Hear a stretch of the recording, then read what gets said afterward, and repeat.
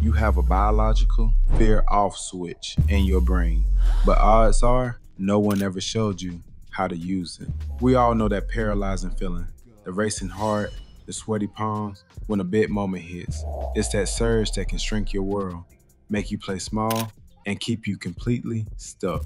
But what if you could flip that switch and turn fear into calm, focus, confidence? What if the very system designed to protect you is also holding you prisoner and you're holding the key? In this video, we're breaking down a simple psychological trick backed by neuroscience that helps you calm that primal part of your brain and put you back in control. Stick around because you're about to learn how to turn down the volume of fear, not by fighting it, but by rewiring your relationship with it.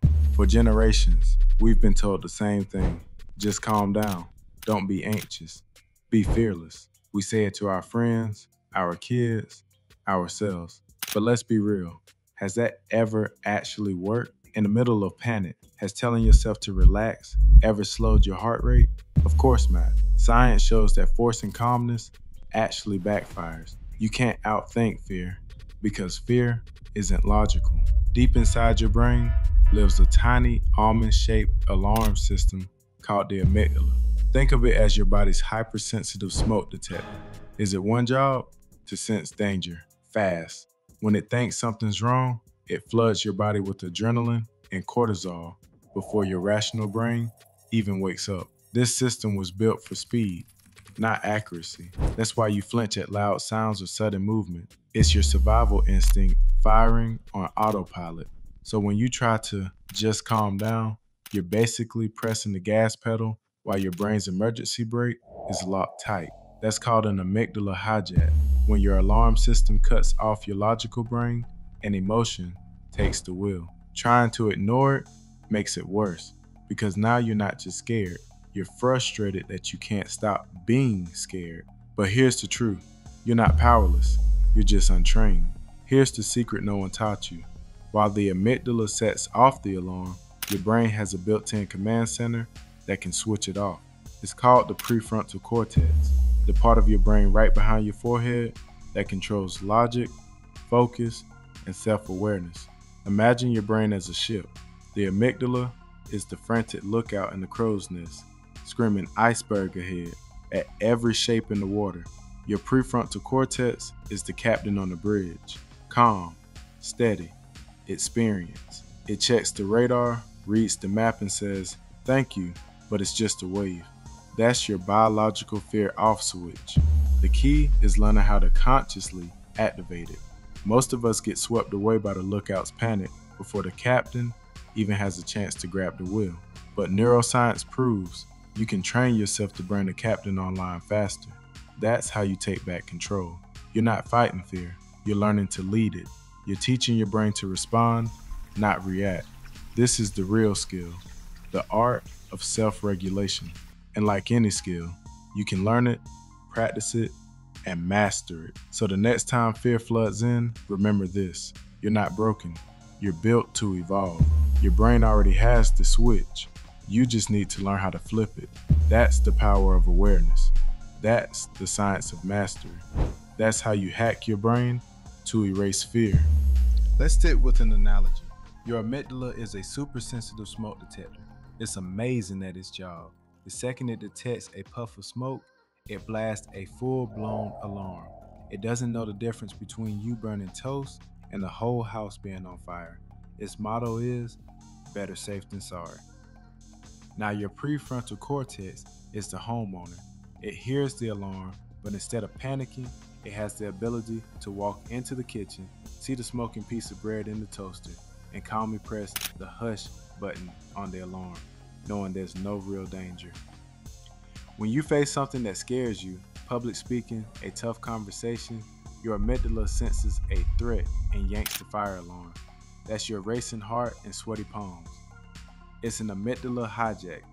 At that moment, your prefrontal cortex, your inner homeowner, is often offline, totally overwhelmed by the noise.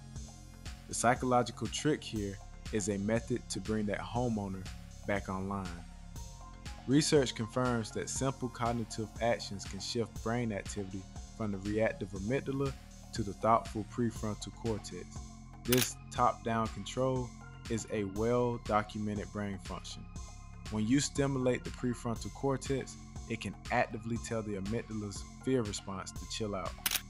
This isn't just a one time party trick, it's about literally rewiring your brain. Think of it like creating a path in an overgrown field. The first time you walk from the alarm to the kitchen to check on it, the journey is slow and difficult. But every time you successfully use your prefrontal cortex to calm your amygdala, you trample down the grass a little more. This is neuroplasticity in action. Over time, that trail becomes a well worn, easy to follow path. You're not getting rid of the alarm, you're just getting much faster at figuring out if it's a real fire or just burnt toast. Your three step fear regulation protocol. Step one recognize and name the fear. The moment you feel it, the tight chest, the shaky hands, your first job isn't to fight it, it's to notice it. Imagine fear is a monster hiding in a dark room. Naming it is like flipping on the lights.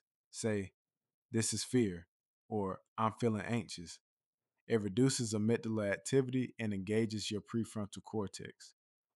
Step two, reframe the narrative with a question. Ask, what if this feeling isn't a signal of danger, but a signal that I'm about to do something important?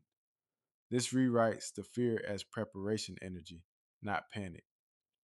Step three, reinforce with a power affirmation. Say, I acknowledge this feeling and I have the tools to handle what comes next. This locks in the new pattern. You're not denying the fear, you're grounding through it. Let's apply it to real life scenarios. Scenario one Big presentation. You're in bed the night before. Recognize this is fear. Reframe this is energy preparing me. Reinforce I'm capable and I have the tools. Now sleep. Scenario two hard conversation. Recognize I'm afraid of conflict. Reframe this is what courage feels like. Reinforce I can stay calm and speak clearly. The point isn't to eliminate fear, it's to navigate through it. Use the protocol, walk the path, and trust the trail gets smoother. Fear isn't your enemy, it's a message. And now you know how to respond.